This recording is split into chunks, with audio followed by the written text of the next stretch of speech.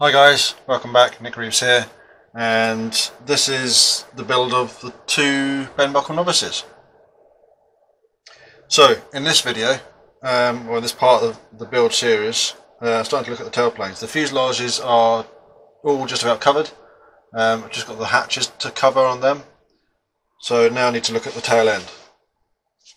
These two tailplanes, uh, they're made up of four parts, five parts I think. You've got the main tailplane itself, two leading edge sections and two tips. So they're all glued up.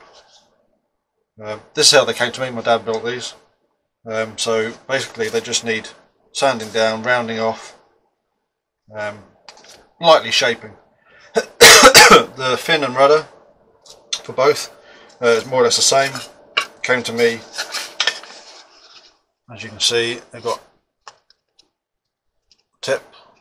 on each and then on the bottom of the rudder there's a strengthening piece.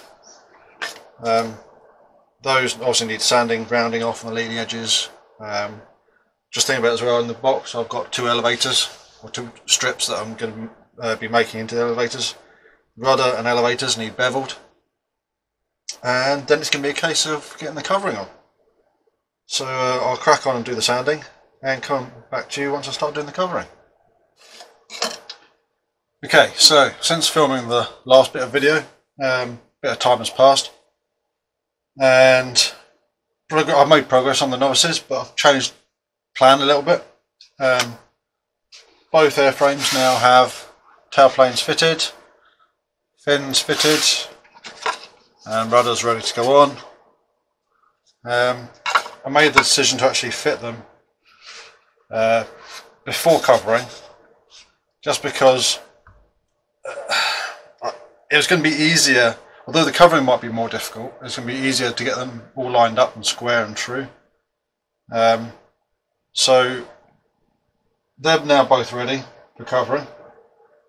Um, they might need a little bit more light sanding before going on, um, but there's two airframes there ready for the covering.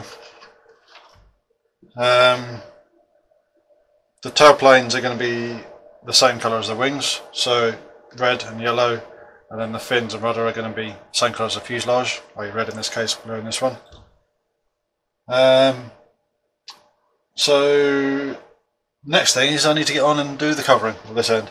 um, I always need to cover the hatches and figure out a way of restrain, uh, excuse me, restraining the the hatches, making sure they don't fly off. Um, probably use a couple of little magnets or something like that.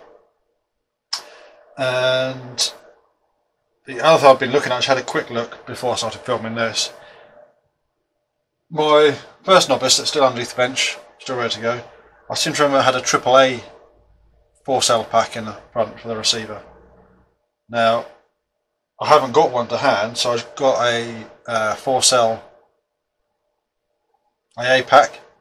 And it doesn't quite fit in the front. Um, and I can remember thinking to myself when I got the first one, if I ever build one of these again, make the front of the fuselage very slightly wider, only by a few millimetres, just to let the battery just slip in. Um, now, unfortunately, I didn't build these airframes, my dad did. Um, I suspect he didn't have the same thought as what I did, but it's not a major issue. I've just ordered a two new packs for these, and I think I've got everything else. I've got the receivers, I've got the servos, I've got switches down there, fuel tanks are in here. There's a little box of goodies. Um, that's good, that's an empty bag. Fuel tanks. Uh, I might have to get different bungs for these. I can't remember if these are diesel proof, I don't think they are, but I should have petrol bungs somewhere which are proof. Yeah, there's two up on the rack over there. Um, another seemingly spare engine mount. Um, two spinners, which happen to be the right colour. No, they don't. One's black. But again, I should have a blue one knocking around somewhere.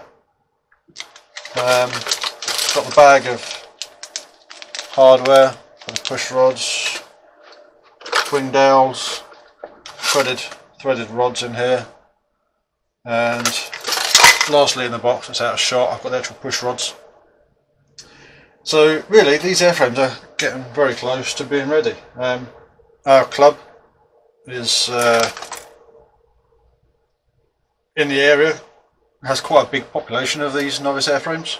Um, we achieved at one flying to have eight or more. I can't remember exactly how many it was. It was a few years ago now.